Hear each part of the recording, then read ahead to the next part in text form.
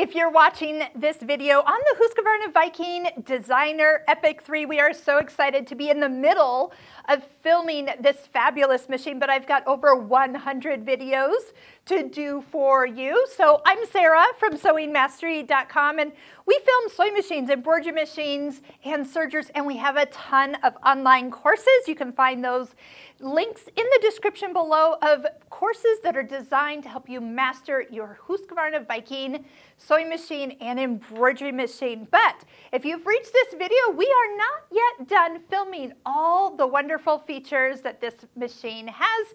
We'll be doing all the sewing videos and then the embroidery videos and it's a lot. But if you do subscribe to our YouTube channel, there'll be a link at the end of this video you can click on that you will be notified when the new videos are available to watch. So I'll be working as fast as I can on this side of the camera uh, so you can be using your machine to its fullest.